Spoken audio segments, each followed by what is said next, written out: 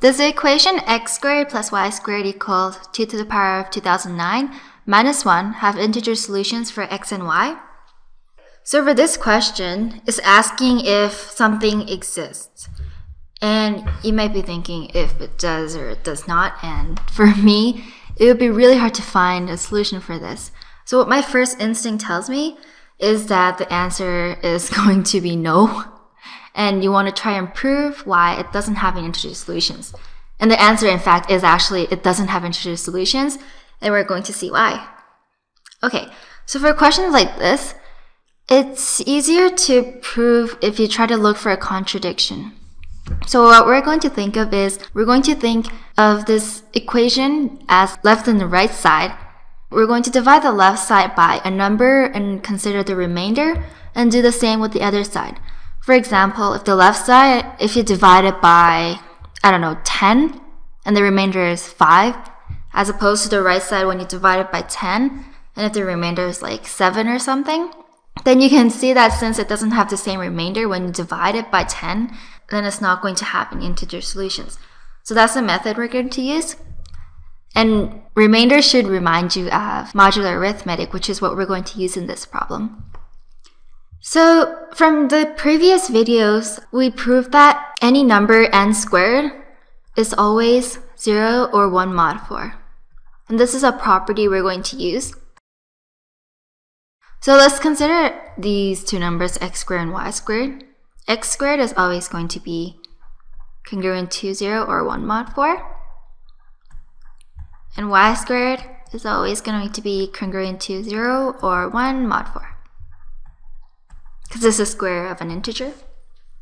Then, since the left side is x squared plus y squared, let's add those two and see what we get. When we add them,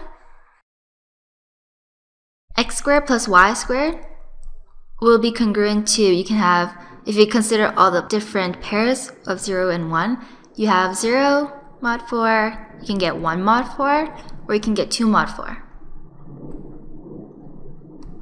So this is the left side. This is the left side. So now let's look at the right side.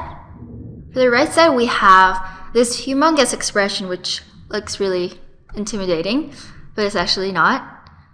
What we want is we want to compare the remainder when we divide it by 4, so we need to make it look like an expression that looks like this. 4 times some number, some number, plus a remainder.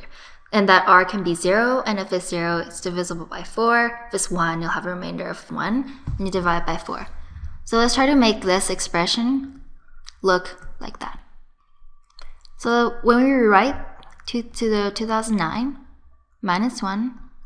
Since we're dividing this by 4, we need a 4 somehow. And we're going to get that 4 from 2 to the power of 2009. So we can rewrite this as 2 squared times 2 to the 2007, because you're taking 2 out, minus 1. And that's just 4 times 2 to the 2007, minus 1. And when you look at this, it looks identical to that. Oops you have the 4, and this would be 2 to the 2007, and plus, or in this case, it'd be minus 1. So this number is congruent to minus 1 mod 4, which is, you know, congruent to 3 mod 4. And this is the right side. So if we compare the left and right side, we are saying that the left side can be 0, 1, or 2 mod 4, but if you look, the right side is always 3 mod 4. So this is a contradiction. So this equation right here cannot have any integer solutions.